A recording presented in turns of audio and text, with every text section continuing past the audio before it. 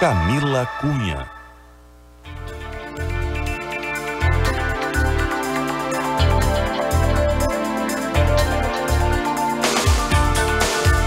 Boa tarde, Santa Maria. Começa agora o DNA, o programa de entrevistas que revela a identidade da nossa gente aqui na CDN. Eu sou a jornalista Camila Cunha e o nosso programa conta com a técnica do nosso amigo Marcelo Cabala. A produção de hoje é da Eduarda Paz. Na próxima hora, nós te convidamos a conhecer um pouco mais sobre algumas personalidades que se destacam em diferentes áreas de atuação de Santa Maria e também da região.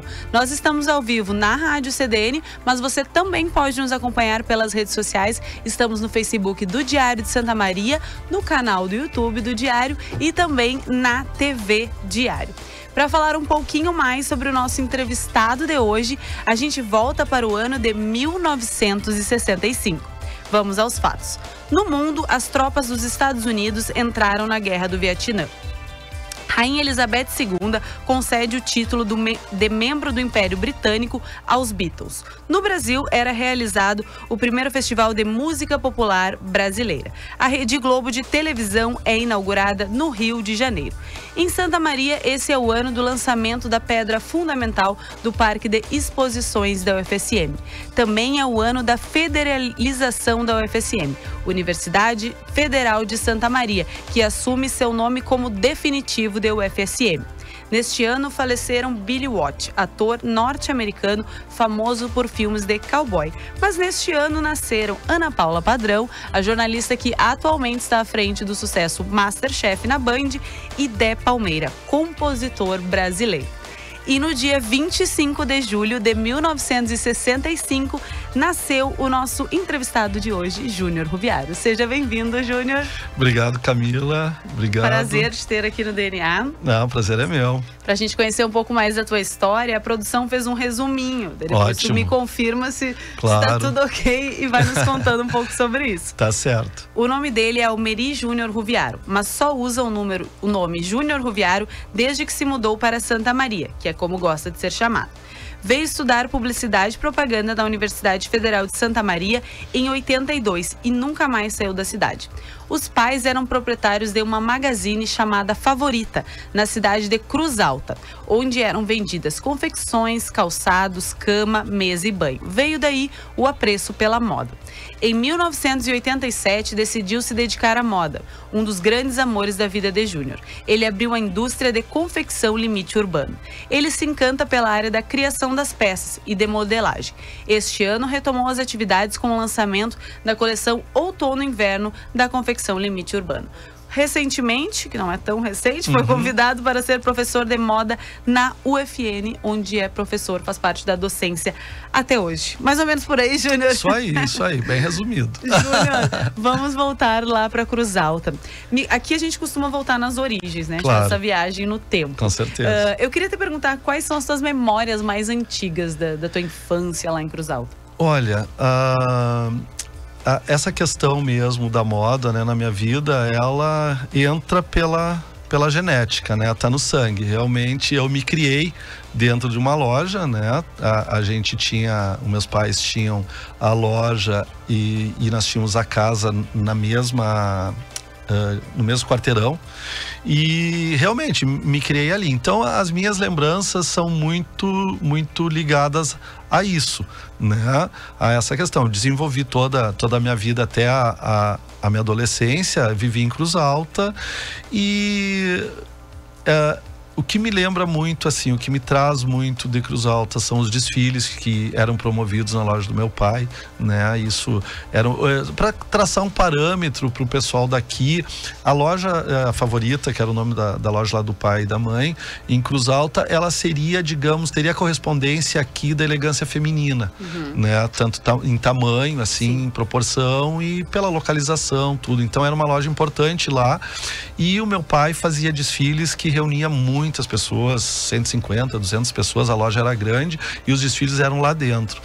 Então, levava sempre alguma personalidade. Então, esse lado glamuroso da moda, Mas isso, isso começou. Que tu tinha, mais ou menos? Uh, a minha infância já era já era, porque a loja, nos anos 70, a loja já desenvolvia toda essa parte desses desfiles.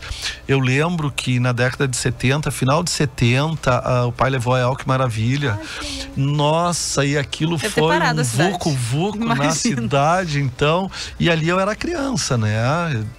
70, eu estava com 65, 5. É, eu estava com 14 anos, 12 anos, por aí. Nessa, né, foi nessa faixa aí de idade. Anterior a isso, o que, que eu me lembro? Na verdade, aí a família, né? A família, assim, a lembrança. Tenho avós que hoje já são falecidos, uma avó emprestada, que foi muito importante na, na minha formação, assim, emocional, afetiva, porque ela era uma pessoa extremamente apaixonada por mim, e então era eu era, ela me chamava de Almerizinho, né? Então, assim, até hoje ela me influenciou muito, coisas que ela falava e tal. Então, a família, né? Eu acho assim, a família é uma coisa muito importante e, e as minhas lembranças giram muito em torno disso, da família e da, do, desse envolvimento com a moda. Eu muito cedo, na adolescência, assim, com 14 anos, eu já ia para São Paulo com meu pai, visitava feiras imensas, né? No AMB, feiras que hoje no setor têxtil não existe mais, né? Então, é, até isso na verdade, é, é essa questão, essa formação toda estética e que eu fui uh, recebendo muito cedo, isso me distanciou muito culturalmente de Cruz Alta, né? Porque Cruz Alta Sim. é uma cidade extremamente voltada para o rural, para campo, para plantação, para o agronegócio. E eu, na verdade, nunca me identifiquei com isso quando eu vim para Santa Maria e por isso que aqui eu realmente assumi a minha personalidade que eu mantenho até hoje, por isso também daqui eu seu Júnior Ruviaro, enquanto em Cruz Alta eu era o Almerizinho. Então teve, teve uma mudança de chave quando Com certeza, total, total. Então Santa Maria ela contribuiu realmente vir para cá e me estabelecer aqui, é, contribuiu para o meu amadurecimento e para o meu florescimento enquanto pessoa. Foi muito importante para minha trajetória. Júnior, é formado em publicidade e propaganda. Uh, eu ia dizer que na época não existia o curso de moda aqui, né? O curso de moda é não, é algo não. muito recente. Uhum. Mas e por que, que, por que a publicidade? Na verdade, o que, que acontece? Com 17 anos, eu era, já era apaixonado por moda, né? Mas uh, só existiam cursos de moda na, em Rio São Paulo. E na verdade eu não me sentia maduro até para assumir isso, isso nós estamos falando em anos 80, né? Para assumir o gosto pela moda e tudo que vem junto com isso, né? É, era, era, foi, era difícil. Então, a publicidade e propaganda, porque eu gosto da parte uh, de mercado, né? Essa parte que envolve, isso também está no meu DNA, né? A parte de comercialização, essa parte que envolve. E a publicidade é interessante porque uh, muitas pessoas uh, da publicidade da arquitetura também caminham para moda, Sim. porque são áreas afim porque trabalham com o estético, né? Trabalham com composições estéticas independente do seu fim, né? Então a beleza acaba uh, unindo essas áreas, né?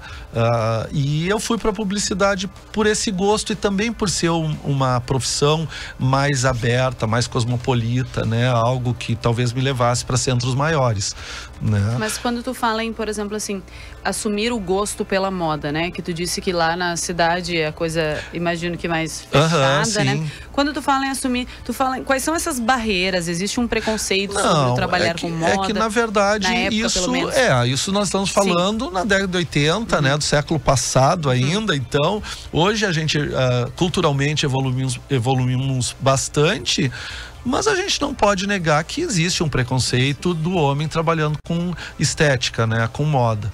Então isso não é só na, na o profissional da moda, mas também em tantas outras, tantas outras áreas que envolvem envolvem a beleza, é, né? E, e, eu sofri muito bullying, obviamente, né, nessa trajetória toda, mas eu acho que a gente tem que, em primeiro lugar, uh, se conhecer saber aqui a, ao que a gente veio para o mundo fazer, né? E diante disso, eu acho que não existem barreiras, né? É, For, fortes o suficientes para ter distanciar daquilo que tu gosta, daquilo que tu e quer para ti. quando tu fala em preconceito sobre a moda, no homem nessa parte estética, né?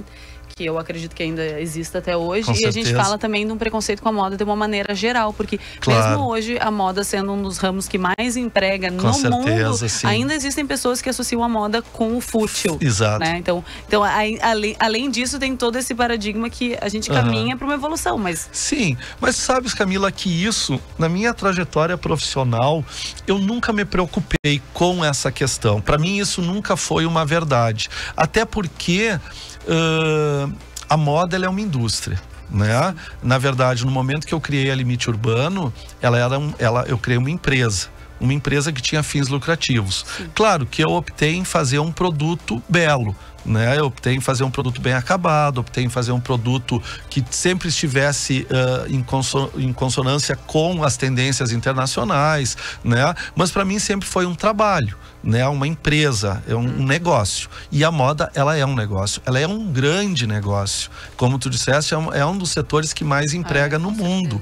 E quando a gente fala, isso vem muito ainda do século XIX, porque ah, se a gente for analisar um pouco da história, ah, no século até então, antes do século XVIII, principalmente, nós formos ver a, a moda que se desenvolveu na França, né, Luís XV, o Rei Sol, ah, e, e toda, toda essa questão da Maria Antonieta e tudo, nesse período o homem era extremamente glamuroso no se vestir.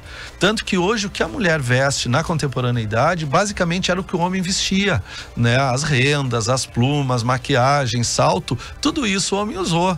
Né? E eram propriedades bastante masculinas na época. Só que com o, o decorrer dos séculos, a evolução da sociedade, e principalmente eu considero o século XIX ah, um, um século muito prejudicial no sentido de polarizar.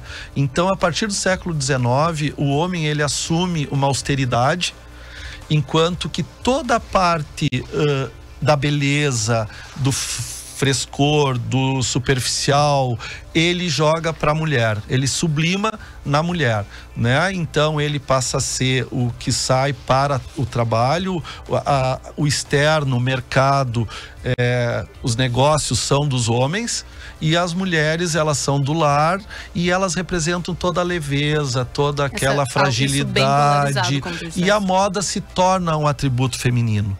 Né? A moda ela se torna um atributo feminino porque as mulheres então elas tinham que expressar através de algo a sua a, a sua essência, o seu, o seu existir também. E a moda acaba sendo um caminho por onde a mulher consegue o seu espaço também dentro da sociedade, né? E isso polarizou muito. Eu acho que muito ainda da sociedade eh, do século XIX ainda oprime as mulheres, né? Vem dali muito essa toda muitas questões vêm principalmente do século XIX, essa construção toda muito polarizada, né? Do que é o ser homem, do que é o ser mulher na sociedade, né? E eu acho assim, com relação à, moda, eu acho que a moda é algo tão importante nas nossas vidas que por mais que a pessoa não tenha autoestima elevada, a moda faz parte do seu dia a dia. Nesse período de, de, de pandemia, por exemplo, o que nos restava para nos alegrar um pouco do que botar uma roupa bonita, do que tentar, eh, né? Então eu acho assim, a moda e principalmente o vestuário, porque quando a moda é um guarda-chuva muito grande, o vestuário é só uma partezinha, digamos, é a cabeça do iceberg, é aquilo que a gente mais vê, mas a moda como um todo, ela envolve toda a sociedade, né? Mas o vestuário, né, mexe tanto com a autoestima. É, isso que tu falou da pandemia, né? Esses dias também estava lendo sobre uma tendência que, que estourou bastante na pandemia, que ela fala dopamine, uma coisa Aham, assim. sim. Que é ligada às cores, Isso. né? Que é um neurotransmissor Pra que levantar traz o alegria. astral, né? E, e faz tanto sentido, É, né? claro. da- da- das cores no vestuário Sim. levantarem o- uma energia de um astral. É, porque se tu já tá num momento negro da, né, da- da vida, assim, cinzento, pessoas morrendo, todo mundo isolado, né? E ainda tu assumiu o preto, cinza, daí às vezes isso pesa mais. Então por isso as cores E o alegres poder hoje, que. né? E daí tinha até umas psicólogas falando sobre isso, que, o que isso é um poder de fato Claro, de mexer. claro, move o nosso cérebro, né? É, Muito interessante. É. Mas, Júnior, voltando lá na publicidade, eu fiquei curiosa para saber. Tá, tu entrou na publicidade, sim. disse que sim, tem, a, a, comunicação tem esses afins com a moda. Mas aí tu chegou a entrar no ramo da publicidade, de fato? Olha, eu vou te ser sincero. É, eu me formei, foi um pouco frustrante, porque eu me formei já tendo plena certeza que eu não iria trabalhar como publicitário. Na época ainda da faculdade, eu fui convidado por então professor o, o Rogério Lobato, que tinha a Rocha Lobato, que era uma agência uh, bastante conhecida uhum. na, na, década de 80, 90, né, bastante expressiva aqui na cidade. E aí ele me convidou para já trabalhar como estagiário.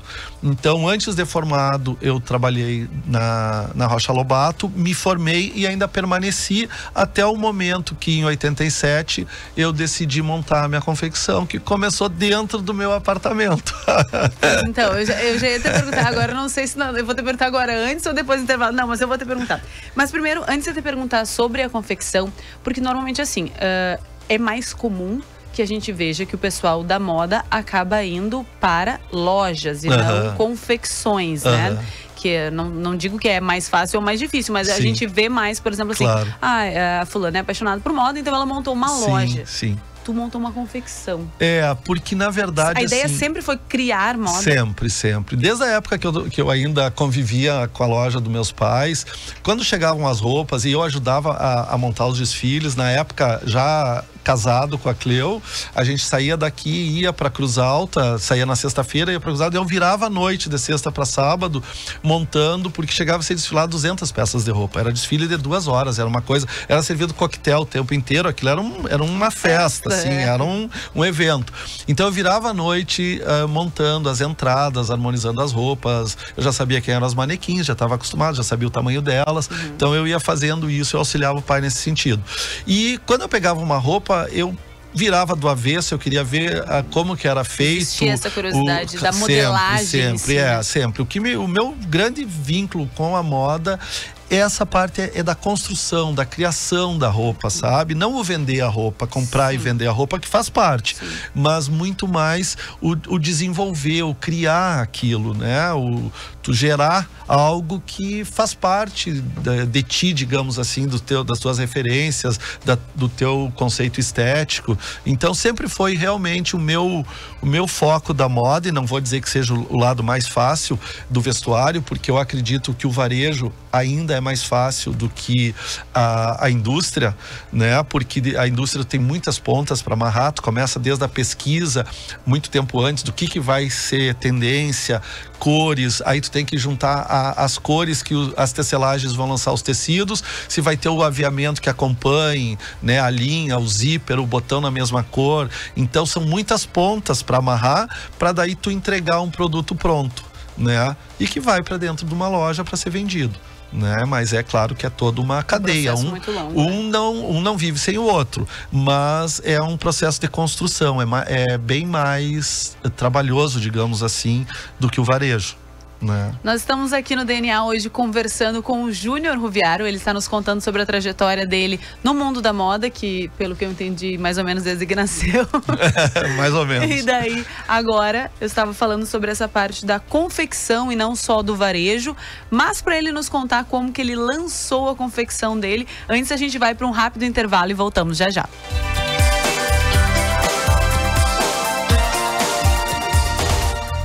Já está disponível o aplicativo do Grupo Diário. Nele, você escuta a rádio CDN 24 horas ao vivo e pode consumir todo o conteúdo do Diário e do BEI. Tudo em um só lugar. Baixe agora. Disponível para Android e iOS. Agora, assinante do Diário tem desconto em diversos cursos da Sobresp, como odontologia, psicologia, gestão e muitos outros. É só enviar o comprovante da sua assinatura no momento da matrícula para liberar o desconto. E se ainda não é assinante, chama o Diário no WhatsApp 55 3213 7272 ou acesse diariosm.com.br e garanta sua assinatura com preço especial. A notícia tem urgência e prioridade no Central CDN. De segunda a sexta, em duas edições, a equipe do Diário faz um giro por Santa Maria e região, com as principais informações do dia e da semana. O programa vai ao ar às 11 horas com a apresentação de Thaís Sereta e às 17 horas com Rogério Kerber. Central CDN, a notícia direto ao ponto.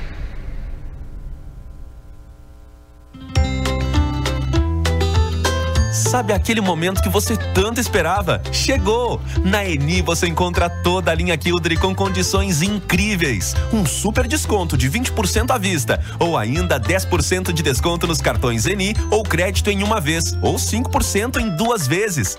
Passe agora em uma loja Eni ou acesse o app e garanta seu Kildare por muito menos. Eni, seu estilo a cada passo.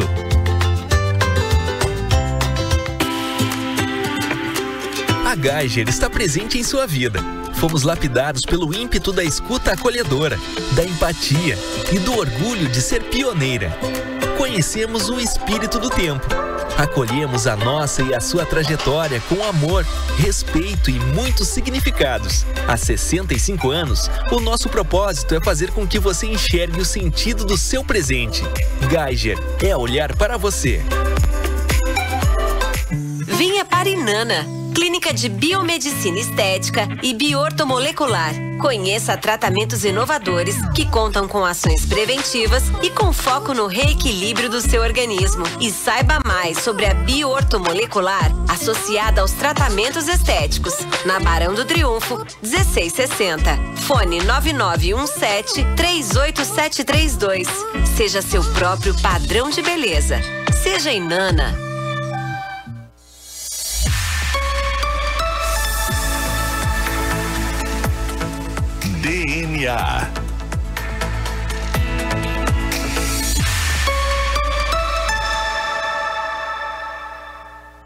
Camila Cunha.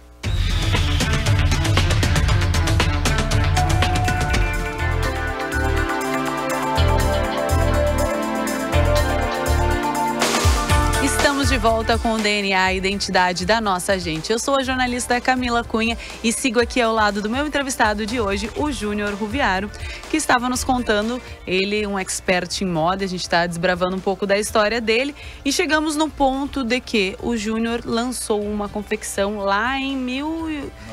1987, isso Oi. lá no século passado. Pois então, então agora nos conta de fato, qual foi o momento que tu disse, não, agora eu vou ter a minha confecção a limite urbano?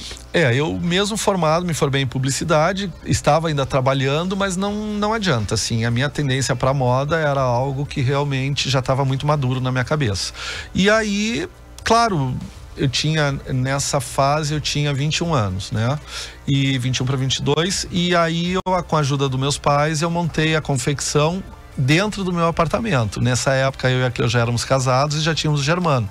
Eu já devia estar tá com três anos. E aí a gente queria, eu comecei, queria começar com uma coisa muito pé no chão, assim, muito devagarinho, né? E então uh, reservei um, uma parte do apartamento para colocar algumas máquinas, contratei pessoas também, né? Porque até então eu não tinha experiência, não tinha know-how na parte da confecção em si, né? Tinha já referências estéticas formadas, enfim, mas uh, nesse quesito tinha bastante segurança naquilo que eu queria fazer, mas na parte prática, por exemplo, da costura, da própria modelagem, ainda não tinha essa experiência. Então, no início contratei uma senhora para cortar, outra para costurar, e eu tive também a ajuda no início de uma prima, Rosana Ruviaro, que na época que era representante comercial, ela e o marido. E aí eu comecei a, a produzir roupas em pronta entrega. Então a gente fabricava, porque a gente tem basicamente duas formas de de comercializar o vestuário. É através de pedido, onde tu chega com o mostruário no ponto de venda, nas lojas, cada o cliente escolhe aquelas peças que ele quer, faz o pedido, tu produz e entrega. Outra forma é a pronta entrega, né? Então tu tens um estoque pronto e que tu leva até o lojista e daquele estoque pronto ele escolhe. Ou ele vai até um showroom e escolhe o que tem pronto, né? Digamos que hoje as vendas realizadas pela internet é uma forma de pronta entrega, porque tu vai comprar, mas aquele estoque já existe né? Dificilmente é um estoque que tu vai comprar para ser fabricado para te entregar. Mas para começar, não é mais arriscado tu ter um estoque e é que na verdade funciona, é, mas é, é que também é mais rápido o retorno né? Porque daí tu produz e tu vai testando, tu produz um pouco, vai. E na verdade, naquele momento foi o que foi o que se encaminhou né? Foi o que se encaminhou. Aí começamos e tivemos bastante aceitação. Eu, eu lembro que na época as malhas estavam muito, uh, tava, uh, nessa, nesse período dos anos 80, uh, eh, havia muita produção em malha. O moletom, era, tinha muito moletom, muitas malhas. E só que a malha, ela apresentada de uma forma como tecido, digamos. então, o que hoje nós vemos também. Mas naquela época a, a gente o, o, século XX foi o, o século da, do vestuário, digamos assim, onde foi criado. Hoje está muito difícil criar coisas novas, né? Praticamente tudo já foi criado. Sim. A gente ainda vive muito uma releitura, né? Então, naquela época, o que, que eu comecei a fazer? Eu comecei a fazer terninhos, porque eu sempre tive também um, um foco, uma, um direcionamento para alfaiataria. Então, eu comecei a fazer terninhos de moletom, ah. né? É, e, e usando partes lisas, estampas uma coisa mais arrojada, que não era uma coisa que era comum oferecerem. E aquilo teve bastante aceitação. Aí nós fomos indo, começou a, a, a desenvolver, a crescer, daí a gente precisou locar um outro espaço maior e tal. Mas eu mantive assim a fábrica, eu morando e tendo a fábrica junto, eu acho que por uns cinco anos ainda, mudando de espaço, indo para um lugar maior, mas ainda podendo acomodar. E porque a, a, construção do nosso negócio, da Limite Urbano, ela foi assim um tijolinho sobre o outro, né? Então às vezes eu vejo meus alunos uh, começando uma, uma, uma, uma, marca própria pela internet e tal, é um caminho, é uma trajetória de construção e que precisa muita resiliência. Tu tem que saber realmente que aquilo é o que tu quer para ti, que tu ama o que tu faz para te poder resistir todo esse trajeto que muitas vezes é longo. Né? Quando tu não tem um capital para te começar já com uma empresa estruturada e que tu tem que estruturar uma empresa a partir do teu própria a tua própria força de trabalho, né? É, tu precisa ser muito resiliente. E eu vejo que hoje as gerações elas não estão muito prontas assim para esses desafios que exigem resiliência, persistência, foco, tu pagar um preço por aquilo que tu quer. E a gente pagou um preço, eu paguei um preço por aquilo que eu queria, né? E aí a gente foi crescendo, depois conseguimos alugar um, um espaço só para a empresa, fui contratando mais funcionários, né? Daí sim, me foquei mais para o pedido, porque tu tens toda a razão. O pedido ele é, eu particularmente considero o pedido muito mais seguro para quem fabrica, porque tu vai produzir em cima daquilo que tu já tens à venda. Sim. né? Então é produzir e entregar. Claro que não é sempre essa esse paraíso assim, né? No meio sempre existem percalços, mas às vezes tu não consegue reposição do tecido, tem pedidos para entregar, uma peça estoura, todo mundo gosta, uma estampa é. estoura. Porque não depende só de ti, né? Não, é uma, é uma um rede grande, né? muito né? grande, muito. E, e, por exemplo, assim, Júnior, quando vocês criaram a marca, uhum. a, a, publicidade acredito que tenha te ajudado nisso. Sim, com certeza. Você cria uma persona, né? O que, claro. que é a persona? É a pessoa, Sim. o público-alvo. Uhum. A gente nem fala mais essa expressão público-alvo, mas. Sim, né? mas é a persona, é claro. A persona. É um público a quem tu pretende e, e vender, quem eram né? essas mulheres? Quem era esse público pois que olha, se destinava a limite urbano? Olha, tu sabes assim, daí eu tenho que fazer voltar um pouquinho, né? Eu tenho a minha mãe também, que é uma mulher sempre foi muito vaidosa. Meu pai e a minha mãe eram extremamente vaidosos, vaidosos e eu e eu segui com esse com esse karma da vaidade. Eu sou uma pessoa extremamente vaidosa e acredito na vaidade também. Eu acho que uma pessoa que tem uma autoestima elevada, ela tem vaidade, né? E então uh, a minha mãe era uma pessoa sempre muito exuberante, assim, sempre se vestiu muito bem, tinha uma personalidade forte e a minha esposa também. Então eu sempre convivi com mulheres que têm amigas. Uh, eu brinco porque eu participei do DNA de uma amiga e eu lembro, eu descrevi perfeitamente quando eu conheci ela. Então eu sempre fui muito cercado por mulheres assim com uh, personalidades uh, marcantes e com estilos próprios uhum. também.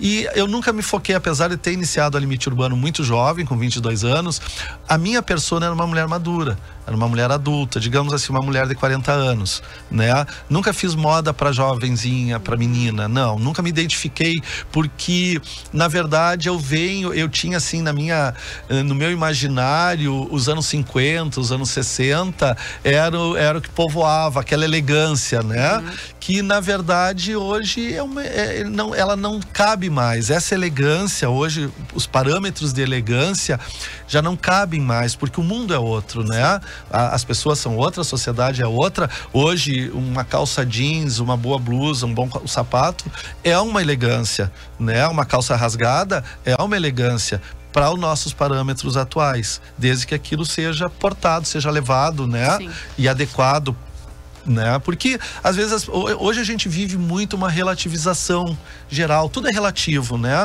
Mas os dress code eles continuam existindo, né? Tudo tem um código, ainda que não seja falado, existem códigos, existem códigos para se vestir também, para se portar. Ah, podem achar isso antiquado, mas é uma hipocrisia dizer isso, porque a sociedade ela se move em torno de códigos e o vestir também tem seus códigos, né? Mas esses códigos mudam, Sim. né? Porque a sociedade muda. Mas a minha persona sempre foi uma mulher mais madura, uma personalidade marcante, uma mulher que sabe o que quer, que ela chega, ela se apresenta, ela gosta de chamar atenção, né?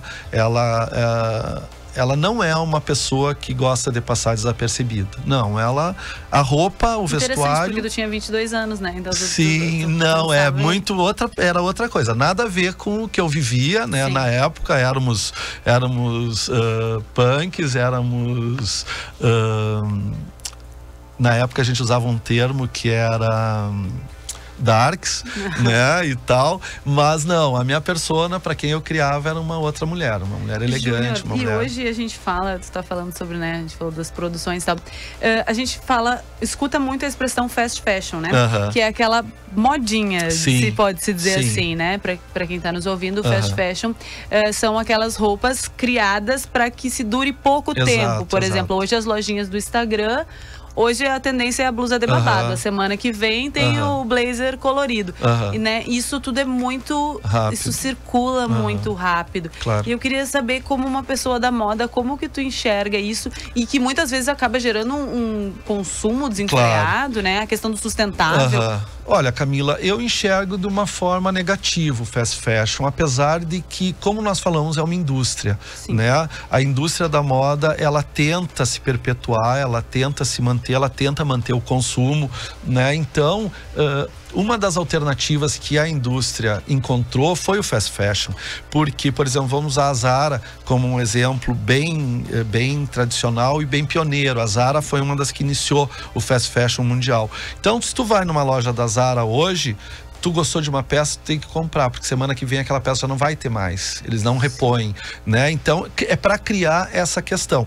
Porém, é, por exemplo, o Brasil, o nosso consumo no Brasil de vestuário é muito diferente do que acontece nos Estados Unidos e na Europa, né? Que é desenfreado, né? Existe um consumo desenfreado onde as pessoas compram e botam fora roupas com etiqueta. Não. Isso é, no nosso país não é assim, né? Porque infelizmente a gente tem muita ainda carência e muita muita dificuldade do acesso ao consumo por uma grande parte da população. Então, o, o nosso fast fashion não é tão fast assim, né? Porque as pessoas não, é não têm condição assim, né? de trocar, de botar roupa fora com claro. etiqueta. O que acontece em países desenvolvidos, onde as pessoas têm condição de consumo muito maiores que as nossas brasileiras, né? Mas eu, no, no, num panorama geral, eu acho nocivo, tá? Eu acho nocivo porque...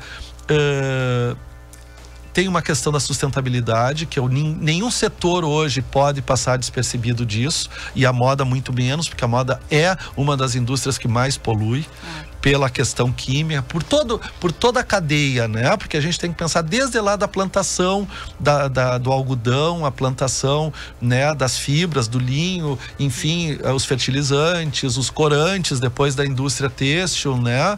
Ah, então, tudo isso até chegar na roupa pronta né? O, o, o, mercado do jeans, que é um mercado imenso, o quanto o jeans polui, o quanto o jeans consome água, né? Então, incentivar um, um consumo desenfreado a qualquer custo, ainda que seja o custo da nossa, dos nossos recursos planetários, eu não posso considerar isso uma coisa uh, positiva né? E outra polêmica, então. Agora a gente fala muito também da Shen, Shen uh -huh. tem a pronúncia. Shen, Shein, é, aí cada um. Cada um uh -huh. uh, que é um, um aplicativo, digamos assim, que se vende roupas por preços -huh. chocantes, né? Camila... Um vestido a cinco reais, tá? Isso. tá? E aí o que que acontece? Agora na internet está uma febre. Claro. Vamos comprar na Shein, fazer videozinho mostrando.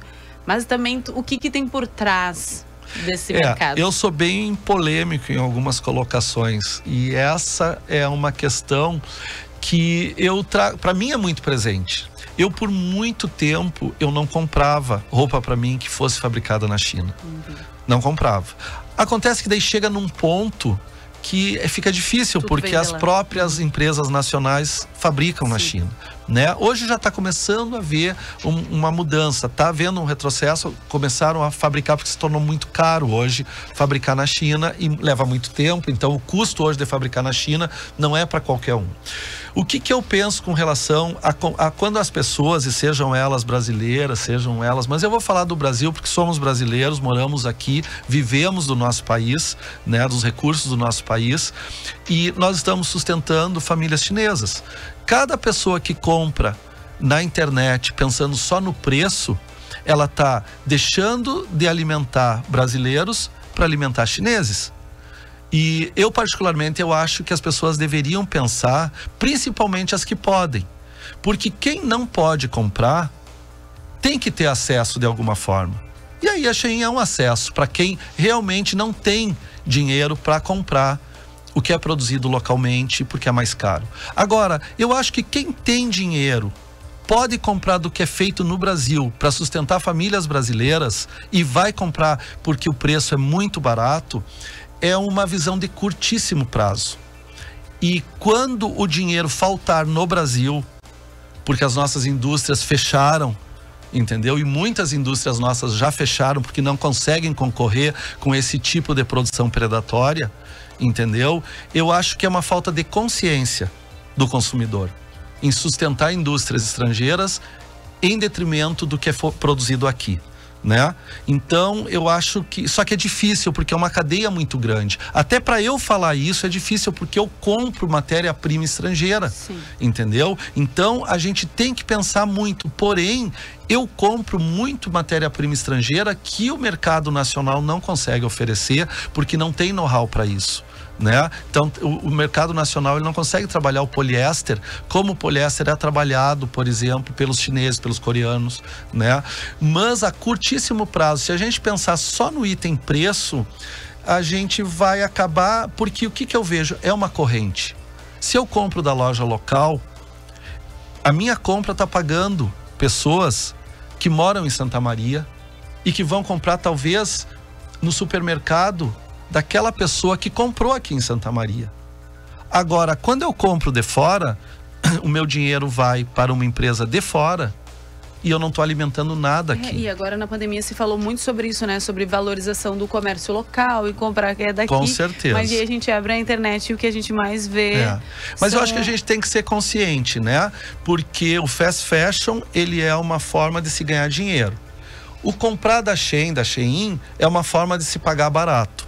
Só que não existe barato, né? É. Não, eu, eu acho que o teu raciocínio é todo não muito existe, interessante, não mas existe que é barato. tentador, é. Claro, né? É tentador, mas é que a gente precisa pensar além, né? Nós temos, às vezes eu acho que as pessoas são tão críticas nas redes sociais e em todos os, os canais, que hoje está tão fácil para todo mundo se posicionar. Então, são tão críticas em determinados assuntos, mas não são críticas quando isso representa o seu próprio consumo. Sim. né? E eu acho que a gente tem que ser crítico em todas as áreas. Não, com certeza né? é uma reflexão muito interessante. Eu particularmente eu a primeira empresa que eu compro é daquela que eu forneço. Então eu faço agora mesmo, eu faço uniformes para várias empresas aqui de Santa Maria óticas. Aí eu compro o meu óculos daquela empresa. Esse relógio que eu estou usando, eu comprei de uma empresa local que eu fiz uniformes agora. Entende? E Santa Maria é uma mãe, né? É uma mãe de braços abertos. Só que eu acho que as pessoas vêm para cá como eu vim, se estabelecem, crescem, criam seus filhos e muitas vezes gastam fora acham caro consumir em Santa Maria. Nós somos muito pouco barristas. Nós tínhamos que aprender com os, os gringos de Caxias, da Serra, porque eles tudo que é deles é bom, é melhor. E nós aqui, tudo que é nosso é bom e é melhor também. Mas né? tem aquela ideia do. De que o de, que fora, de fora sempre é melhor. Eu, particularmente, eu, Santa Maria, me recebeu de braços abertos. Eu tenho clientes, assim, aquela história de dizer que Santa de Casa não faz milagre. Para limite urbano, isso nunca funcionou. Eu sempre tive muitos parceiros, tenho hoje parceiros assim. Agora, quando a gente relançou a coleção de moda, uh, que eu apenas fui procurá-los e eles abriram as portas, nos compraram, estão aguardando novas coleções. Então, eu sou muito grato a Santa Maria, ao comércio local, porque a gente sempre teve muitos parceiros. Eu nem considero clientes, eu considero parceiros mesmo. A conversa está muito boa, Júnior, mas... eu falo muito. Não, tá ótimo. Eu estava super reflexiva aqui na tua conversa, mas a gente precisa ir para um rápido intervalo com e voltamos certeza. já já com o DNA. Bye.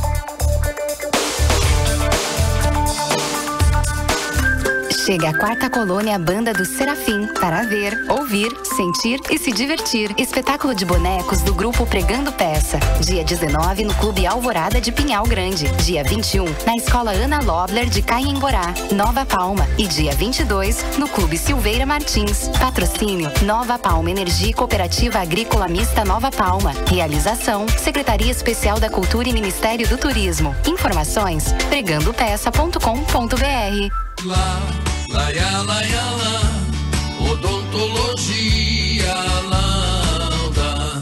São 40 anos de alegrias, são 40 anos de profissão, são 40 anos de estudos, tecnologias e evolução. São 40 anos de histórias e belos sorrisos de várias gerações. São 40 anos, 40 anos de experiência, sendo testemunho de lindas emoções. Odontologia Lauda. Há 40 anos, o brilho do seu sorriso. Odontologia Lauda. O implante que se transforma em sorrisos.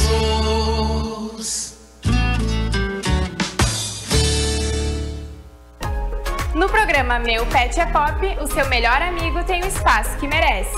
Todos os sábados na TV Diário e Rádio CDN, às 15 horas, uma edição inédita do Meu Pet é Pop. Não perca! Chegou em Santa Maria a clínica Face Doctor, especializada em rejuvenescimento e harmonização facial. Franquia focada em procedimentos não invasivos e já conhecida pela sua qualidade e sensibilidade com a particularidade de cada paciente. Está localizada na rua Marechal Floriano Peixoto, número 13, 57, sala 1, centro. Venha nos conhecer e faça uma avaliação. Ligue 55 999 44 0405. Não perca a chance de comprar o seu novo SUVW Volkswagen. Vá a uma concessionária mais próxima e confira as ofertas. Oferta exclusiva pronta entrega na Pampeiro. T-Cross Highline 2222 a partir de 159.930 com 50% de entrada, saldo em 18 vezes sem juros ou 40% de entrada e saldo em 48 vezes com taxa 0,99 com as três primeiras revisões grátis. Mais que SUV, SUVW. Juntos salvamos vidas. Volkswagen.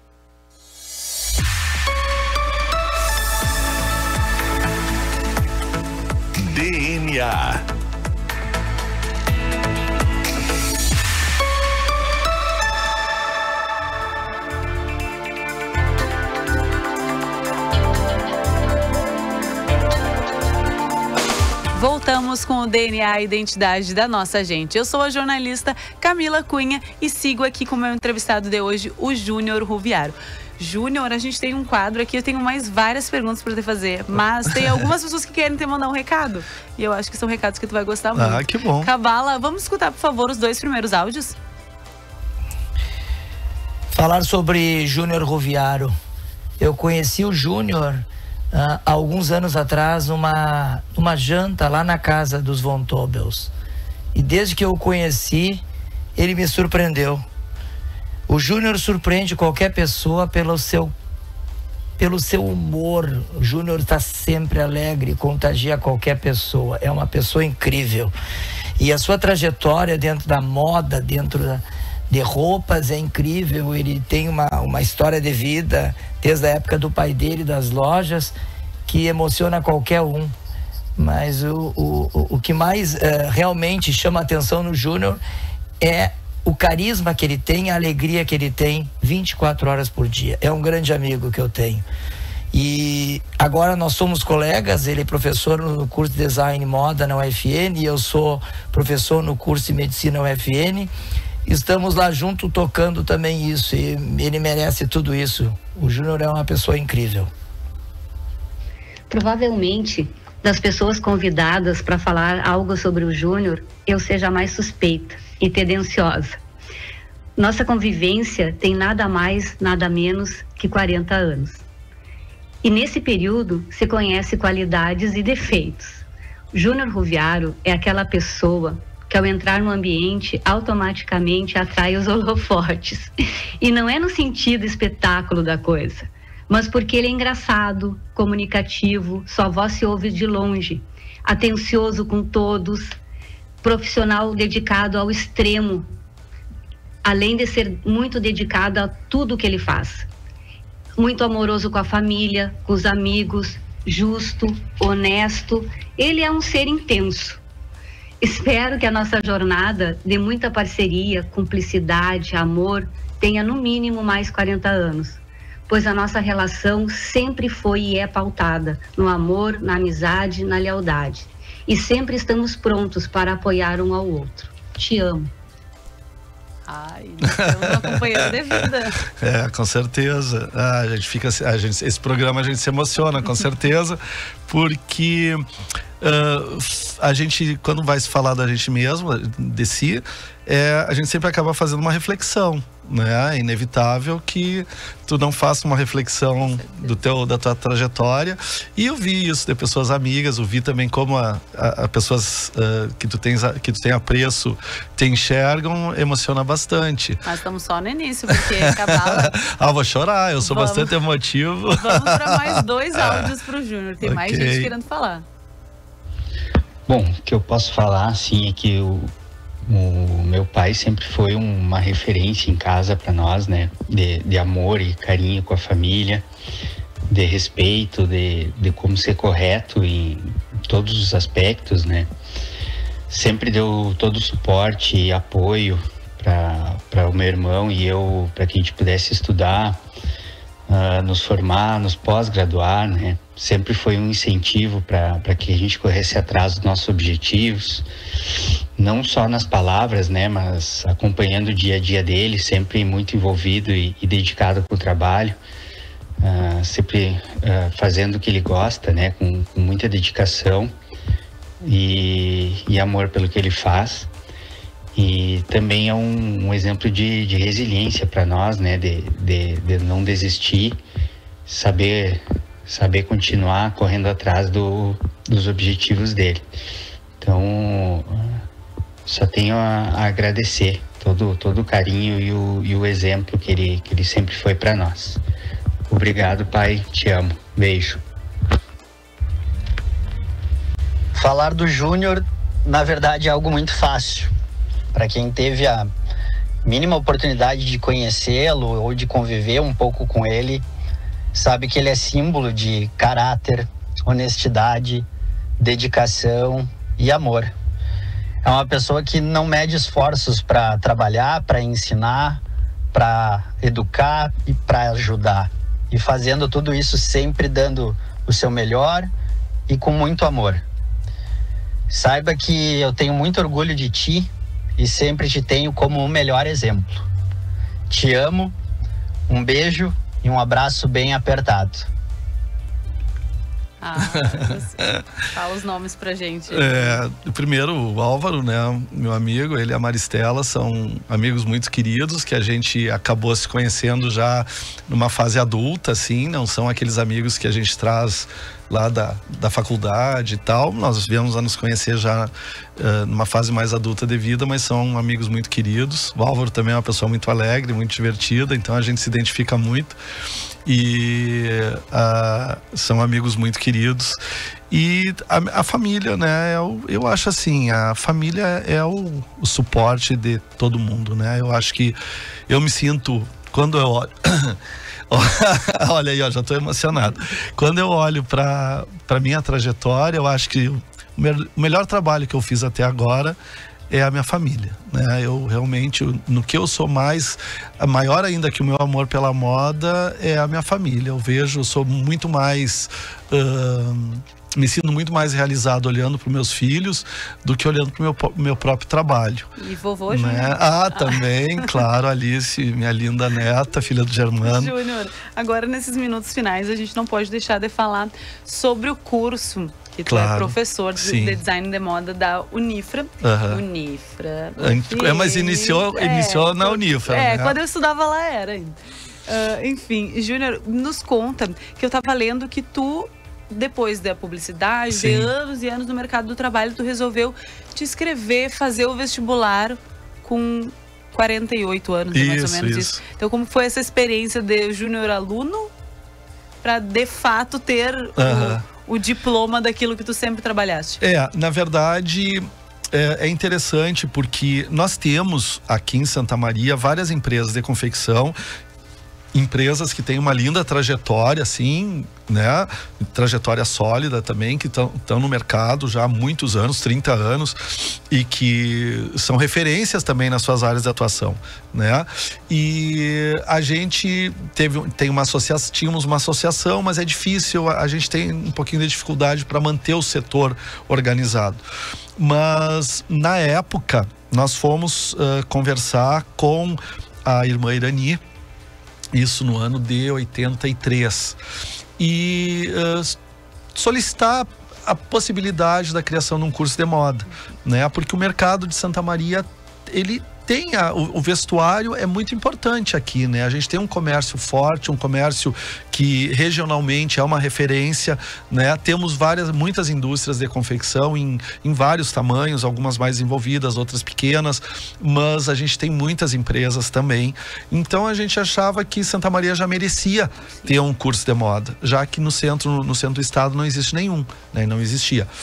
Aí fomos conversar, fomos muito bem recebidos, a ideia foi muito bem aceita, até porque já havia uma vontade interna também, um, uma vontade de ir para o campo da moda também dentro da, da UFN, na época Unifra. E isso foi em 83 e 84 uh, o, nós iniciamos, acho que em, no início de 83, no final do ano foi ofertado, ou no início do ano foi ofertado uh, vestibular, eu queria dar um carteiraço, mas daí não deu porque o curso estava muito, muito concorrido. Eu disse, ah, não tem problema, não vou, não vou deixar para passar. Daí eu digo, até porque eu nem tenho tempo, né, para esperar. Ah, quem sabe o senhor espera para ver se, se sobra alguma vaga. Eu digo, não, eu não tenho mais idade para esperar nada. Aí fiz vestibular, passei muitos amigos perguntam: ah, mas por que, que tu vai fazer moda? Tu podia estar tá lá dando aula, não sei o quê. Sim, né? Uma trajetória desde os 22 anos trabalhando com desde enfim. Mas a verdade é que eu acho que aquele que acha que sabe tudo, na verdade, não sabe nada, né?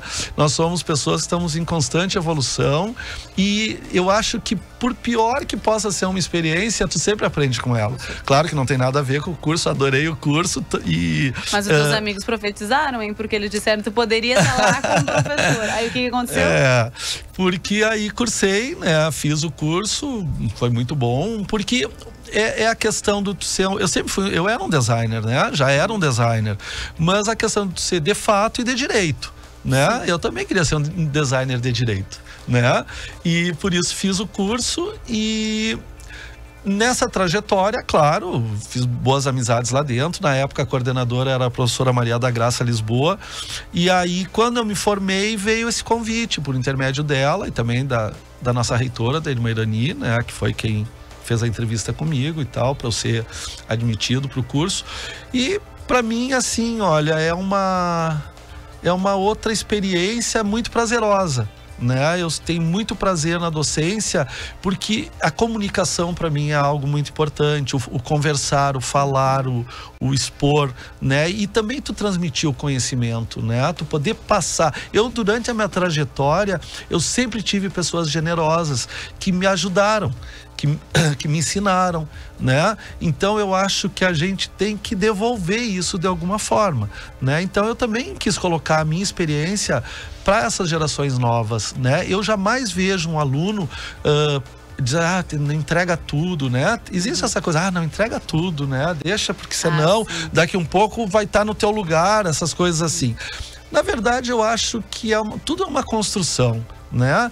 E, e eu jamais, eu entrego tudo, porque eu, eu acho assim, as pessoas merecem ter a sua oportunidade, né? E o esforço é individual, né? Lá a gente tem tantos alunos e a gente percebe quem realmente assim ama a moda, né? E outros que estão fazendo um curso, estão querendo aprender. Então a gente resiste quando meus filhos falam em resiliência, realmente eu sou resiliente, mas é porque eu amo o que eu faço. Para mim, qualquer trabalho, sendo para trabalhar com moda, eu tô pronto né? Já tô formado. Júnior. Não, muito interessante a pessoa sair de aluno ou para virar professor. Fiz Mas mestrado, cor... né? Fiz Sim. mestrado nessa trajetória. E coroando toda essa tua trajetória de uma vida é. toda na moda, né? Mais experiente, impossível. É. Júnior, a gente vai chegando no final do DNA. Eu quero te agradecer, foi um prazer imenso. Da Poderia ficar forma. por horas aqui te ouvindo falar tuas reflexões e a tua história de vida. Que bom. Mas o DNA de hoje vai chegando ao fim. Muito obrigada ah, agradeço mesmo. muito, tá? A a CDN e pelo papel que vocês fazem também aqui em Santa Maria, né? Eu acho que é muito importante. Eu acho que essa empresa ela veio ocupar um, ocupar um espaço uh, local e Falamos sobre o local, né? É, eu acho que esse espaço que vocês abrem, nós sempre tivemos o Diário um parceiro da CDN também, nos nossos eventos do curso, enfim. E essa retribuição que vocês trazem para Santa Maria, ela é muito positiva. Eu espero que cada vez isso se concretize mais então, tá e mais. Bom, os microfones estão abertos. Mais uma vez, muito obrigada. O DNA de hoje vai ficando por aqui. Eu volto amanhã com mais uma personalidade para a gente conhecer aqui no DNA. Um bom finalzinho de tarde e até amanhã amanhã. Tchau, tchau.